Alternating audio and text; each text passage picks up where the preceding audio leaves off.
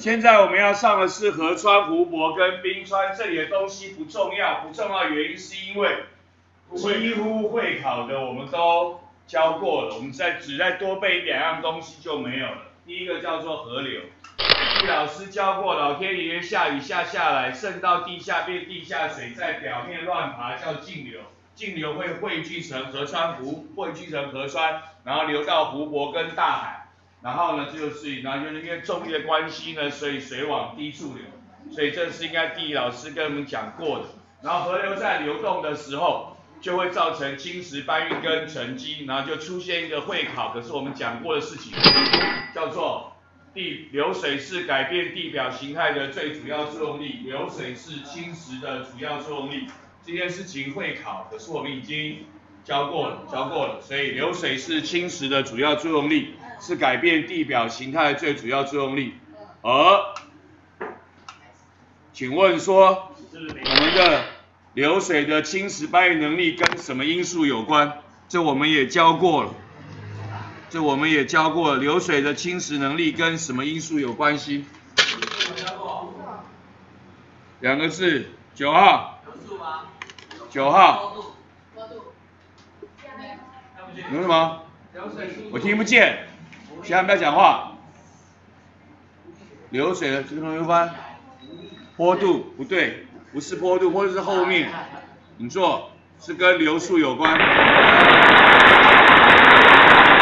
然后坡度陡，流量大，流速快，摩擦力大，流速慢，所以我们说会跟坡度流量成正比，跟摩擦力成反比。这里的正比跟反比没有数学意义，不是数学上的我变两倍，你变两倍叫成正比，不是。它就是说 A 大 B 就大，所以叫做成正比；A 大 B 就小，叫做成反比，也只有这样的想法而已，并没有，并没有所谓的数学意义。所以那，所以有学生跟我说，老师就改成正相关跟负相关的可以 OK 了，反正就是这样的意思。OK，那现在考试应该不太会考所谓的坡度、流量、摩擦力，可是流速可能会问，流速可能会问。OK，叫做流水，我们讲过了。下一个呢？叫做所谓的湖泊，就是洼地，就积水成湖嘛。啊，有咸水湖跟淡水湖。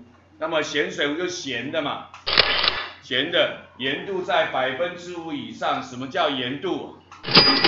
什么叫盐度？重量百分浓度，重量百分浓度。我不要再问你什么叫重量百分浓度了吧？OK，就是重量百分浓度。那因为有的时候，有的时候因为没有那么浓，所以改成千分比，啊，不是百分之多少，而是千分之多少。啊，啊，所以叫咸水湖。那咸水湖两个重点，第一个重点是咸水湖大多是内陆湖泊，就是只有流入的，没有流出的，只有入口没有出口。就重点一，它多数是内陆湖泊。重点二，盐度在百分之五以上。那其他的看一下，什么死海啊、大盐湖啊，大盐湖当然是咸的嘛，死海很咸，是一般海水的十倍，好，盐度是一般海水的十倍。然后呢，在盐咸水湖有盐巴，对盐是废话。最后这一句我教的你可以不背，地理老师有教的你要背。我教的叫做世界上内陆湖泊最多的地方，内陆咸水湖泊最多的地方是青藏高青藏高原。我以前念的青康藏高原，现在已经没有西康了，所以青藏高原。这个是我教的，你可以不背。可是下一句是地理老师有教的，世界上最大的咸水湖是谁？里海。里海，这个要背。这个是地理老师有教的，你就要背，OK？然后跟他讲盐度。那淡水湖就是淡的嘛，它通常就是有入口也有出口，所以像我们日月潭跟浊流到浊水溪到进到台湾海峡，有入口有出口，叫做淡水湖，淡水湖，OK。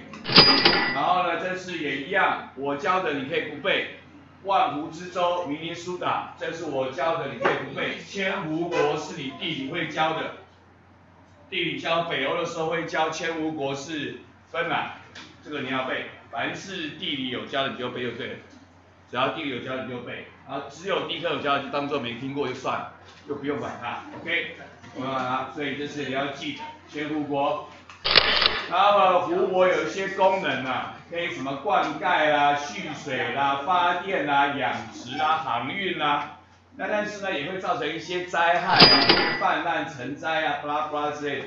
这些事情对台湾而言都不重要，因为台湾并没有什么伟大的湖泊，没有什么大，所以既没有什么大的功用，也没有什么大的灾害。